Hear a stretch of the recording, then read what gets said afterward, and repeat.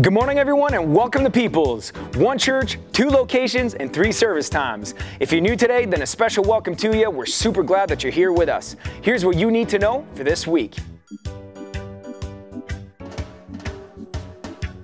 Church family, on the first Friday of August and September, we will be continuing with our community movie night on the big screen down at our Cumberland location. This is a great way to serve and connect with our new neighbors all while having a fun time. If you are part of our volunteer team at Peoples, we do encourage you to come out and be a part of it. If you do plan on coming, we would also encourage you to carpool as parking spaces are limited. Legacy builders, our vintage passers would love to remind you about our potluck picnic taking place at TB McQuesten Community Park by Lime Ridge Mall on Monday, July 29th at 11 a.m. Bring out your best dish to serve and share and come ready to also play some fun lawn games. If you're interested, please sign up at the welcome desk after the service. All right, baby, it's that time of year again.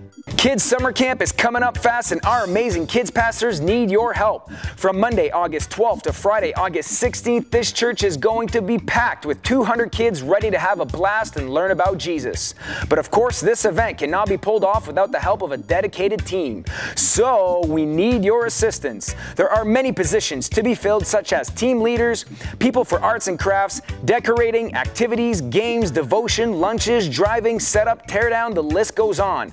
Also, both full-time and part-time positions are available to help be flexible with your schedule. If you're interested in having a role to play in making this absolutely powerful camp happen, you can contact Pastor Leah or Pastor Ryan by phone or email. Thank you so much. That's all, folks. Thanks again for joining us today. And now please help me welcome to the stage the big guy himself, our fierce leader, the top dog, the man who absolutely hates it when I put him on the spot as we continue with our amazing sermon series entitled Jesus Changed My Life.